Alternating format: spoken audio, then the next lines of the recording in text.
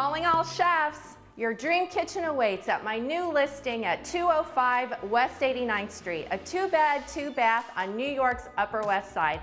Let's take a look.